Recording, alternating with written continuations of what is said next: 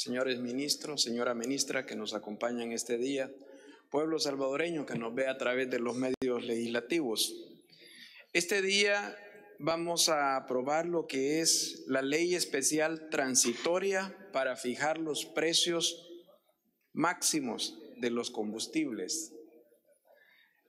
El gobierno con esta iniciativa se compromete a absorber el costo en el alza de los precios de combustible a nivel internacional. Esto con la finalidad de favorecer al pueblo salvadoreño.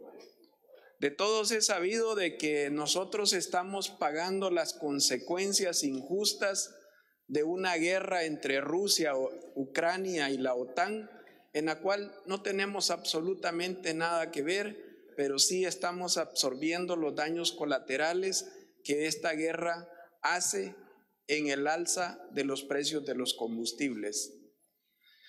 El señor presidente ha mandado una iniciativa mediante la cual van a quedar fijados los precios de los combustibles de la siguiente manera.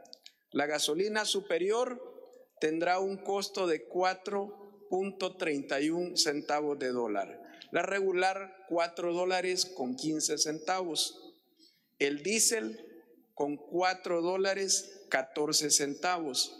Y aquí viene una situación bien interesante. Los precios son exactamente igual para las tres zonas del país.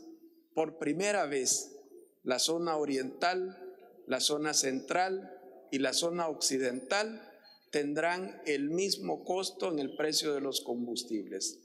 Es una iniciativa inclusiva. ¿Por qué razón? Porque siempre la zona oriental se ha visto desfavorecida con un precio diferente, a mayor costo, por el traslado que conlleva de el combustible desde Acajutla hasta San Miguel.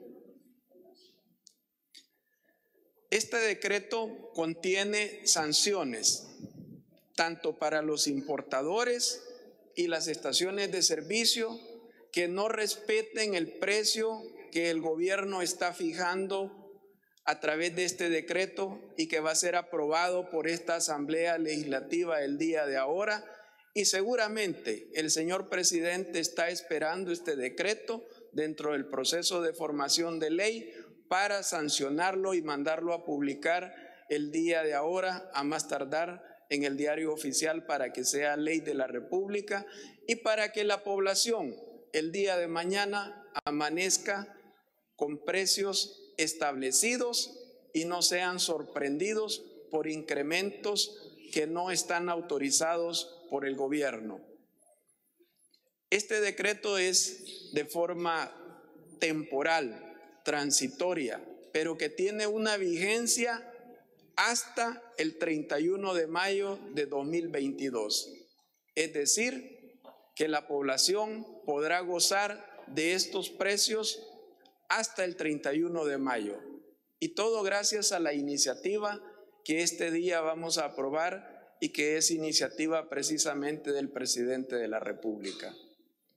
Ya el colega diputado que me antecedió mencionó que es lamentable que cuando se trata de beneficiar a la población salvadoreña, no mandamos un mensaje contundente como Asamblea Legislativa que todos los 84 diputados estaríamos apoyando esta iniciativa.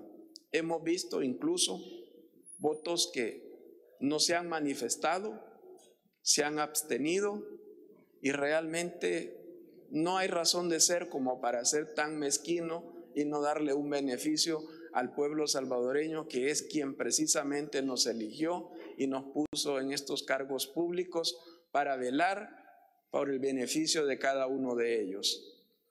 Nosotros como diputados de la fracción de Ghana estamos comprometidos con este beneficio y vamos a votar a favor de esta iniciativa, señor presidente, y estamos listos para que lo someta a votación.